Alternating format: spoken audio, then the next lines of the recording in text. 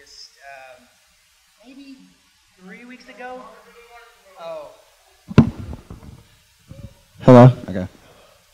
So Tech Wildcatters has a new kind of system how they're doing things with it's like a tier system. So um, Gauntlet, yeah. But um, we just leveled up to level five about a month ago. Thanks.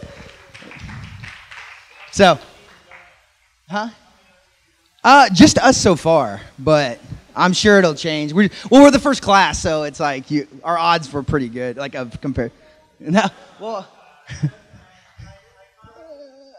oh, you did? Oh, okay. Second. Okay. I just anyway. So, uh, well, my name's Justin, and I'm with Selery Fulfillment, and we're a logistics company that helps basically small to mid-sized businesses by storing their products in our warehouse, packaging and shipping their orders in a personalized way that promotes their brand and setting up or building out all of their inventory software that makes it extremely convenient for them. So I guess before we can backtrack a little bit of how we got started, and I wish we had some really great story of how I knew this macroeconomic trend was going to happen, and I was super brilliant. But we really just started by accident. We were um, selling excess inventory for businesses and selling our own electronic electronics products on eBay, Amazon, Etsy, our own site. We just basically put software where it would sell across multiple sites all at once. And we had a customer approach us and said, Hey, I don't really care about you guys selling stuff for us, but I would rather, uh, can you just store it for me and like, and I'll sell it because you're not that great at it, and then, uh, you know, just ship it out for me once it sells. And we are like, okay. And then we went to my co-founder. I'm like, well, what do you think we should charge? He's like, 400 bucks a week. Came back, and I was like, hey, I'll give you 400 bucks a week. He's like, okay. So then we had our first customer. And then we thought, well, maybe other people want this because at one time we were actually looking for a fulfillment service and it was so complex. They actually have like calculators on the site so you can figure out your margins. It's insane. The pricing's so difficult. And they like, it take forever to get back to you with pricing quotes. So anyway, we just, uh, we like went on Craigslist and put out a bunch of ads with no business name, no business website, and by the first month we had about three thousand in revenue, which we thought was awesome. We were like, "Oh, this is awesome! This is awesome. we like extra money," and then that's how we started the business, and we've kind of been growing ever since then. Um, so, a big part of why we grow is that we're in a huge market. So, in 2015, over 4.9 trillion dollars was spent in the U.S. retail market, but only 7.3% of that was actually done online. So we're in a huge market with lots of room to grow.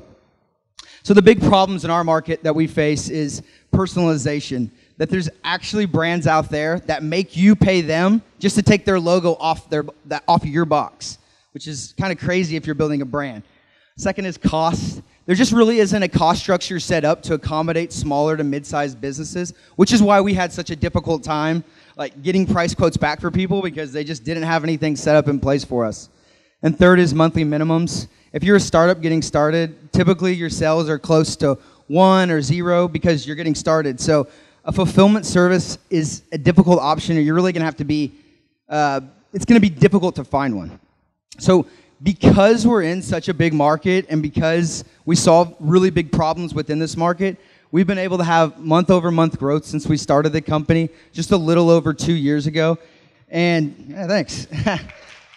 so it just, again, just, and uh, so we've had traction, and a lot of the traction comes from we've grown completely organically. We have, I mean, like we had no market. We went to Tech Wildcatters. We were like, "What's your marketing plan?" We were like, "We don't have one. We don't. We haven't done anything. We just have grown from happy customer referrals, a lot of Craigslist ads, which can be sketchy sometimes, and then uh, and a lot of just Google search.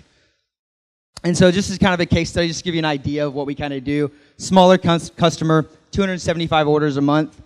And again, we're lower on costs just because there's not a pricing structure set up to accommodate them. Honest, honestly, the other competitors have just kind of turned them away. We're actually their third option, which is, I guess, not really bragging. We were, they selected us just because nobody else would take them. Um, and so yeah, exactly. and so our two biggest plays where we think that we really add the most value is one in the in the inventory management side, where if you your team of five to ten people already have an inventory software that you like, we can just plug that in with software that we're already using. which you're not going to get at other places. You're not going to go to Amazon and say, you know what, you guys did a good job, but can we just go ahead and take our inventory away and like have that software and take it with us? It's just not going to happen. Um, and also, if you wanted to build out your own inventory software, we can custom build it for you, or we can build it on top of other platforms just to make it easier. Um, and really, our biggest play is just our brand value that we add. And you can pick the type of box you want, but if you were starting an e-commerce business, you know, and you see these Dollar Shave Clubs and all these businesses that have, were recently in e-commerce businesses, Jet, which they're more of a marketplace, but that have sold recently. But their biggest thing, if you're an e-commerce company, is your brand value. That's really the one thing you have that can really separate you. And so, which box would you rather have? Don't you? All right, that was good. There, there's something about his presentation style that is like genuine and believe. Like whatever you said, I was going to believe it. Uh, well, there's thank something, you. Something truth, truthful about you. Thanks. hey, uh, Bill again. Uh, this happens. This happens to be my space. So awesome. Um, so how are you going to? Um, how do you uh, dovetail or, or link up with other la- with last minute providers? Um, obviously, Amazon Prime works great, but how would you work into like an on demand um, business so an individual could get it today? Because um, I would think that would be value. When I was at Pickup, we talked to you guys about sure. you know linking yeah. together. Um, how are you going to go out and market to those small businesses and say like, hey, we can do your warehousing and then your same day delivery at a lower cost? Sure. Uh, you know, same day delivery for us hasn't been a bigger as big an issue up until these last few months when we've really grown.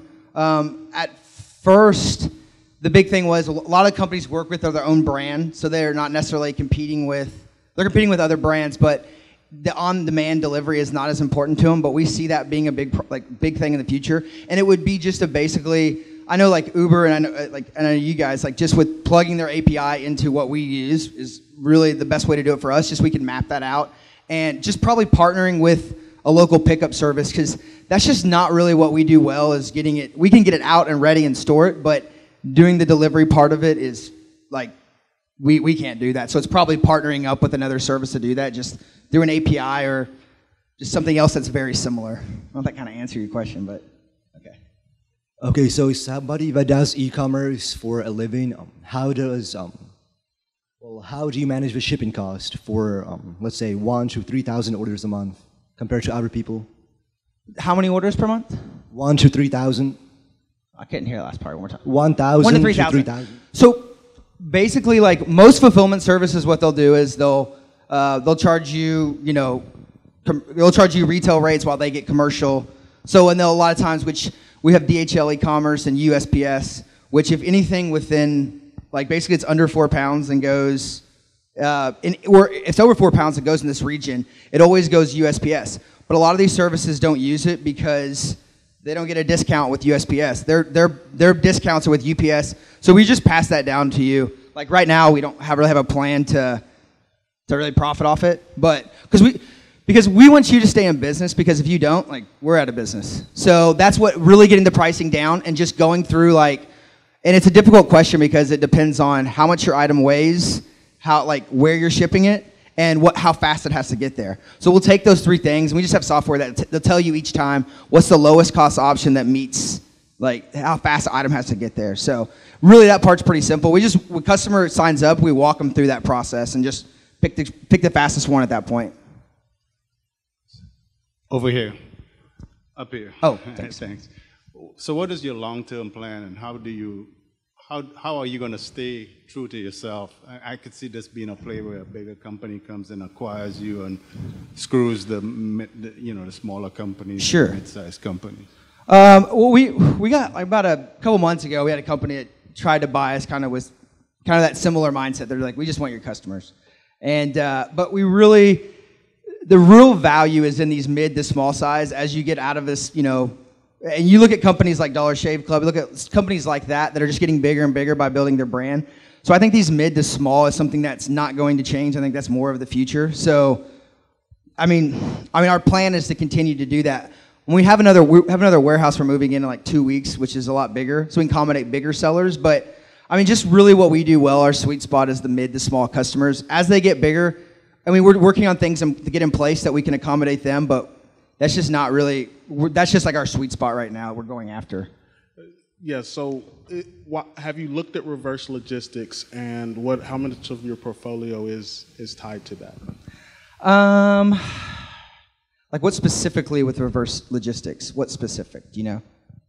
I just figure with your size, that'd probably be more bang for buck, but bigger margins, so I just. Um, not a lot right now, but as we raise money, that's more and more what we're getting into. We're trying to just to have increase our margins just a little bit, but I mean, right now it's just these mid-size warehousing, shipping out, and we do other stuff with like FBA. We're like in the process of becoming an FBA warehouse, so there's things that we do as well that are outside of the fulfillment process, but that's the main thing right now. Um, right here. Hey, as uh, so, I, we have three teams here, and uh, the the hockey stick in May. Can you tell us what happened? I'd like them to hear yours. What happened? Uh, well, we had a customer. teams. Sure. We had a customer for another customer, which happened to be Tony Romo's wife. So then we got Martellus Bennett, who's an old cowboy, and we just went from there.